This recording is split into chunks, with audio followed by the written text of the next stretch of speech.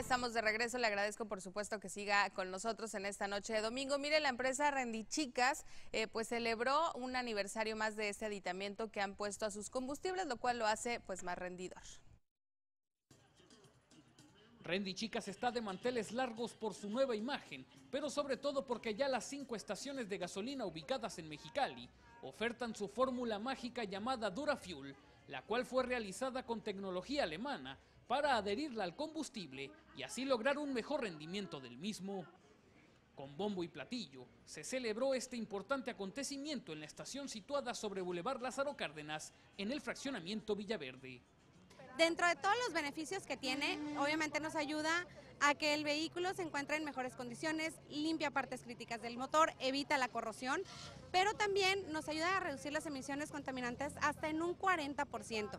Y aparte nos permite sacar más energía de cada litro de combustible que entra al motor, permitiéndonos que nos dé hasta el 15% más de rendimiento, que es lo que realmente todos estamos buscando, porque nos apoya en nuestros bolsillos y en la economía de todos los conductores cachanillas.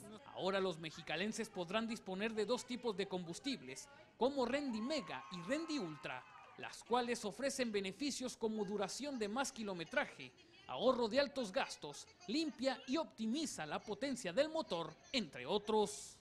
Y pues bueno, realmente nosotros no podemos hacer una declaración de así de fuerte si no hubiéramos hecho pruebas para poder este, soportarlo. Y pues bueno, para esto nos apoyaron peritos expertos en la materia que, pues bueno, corrieron pruebas de más de 6.000 kilómetros en diferentes eh, vehículos, marcas, modelos, años.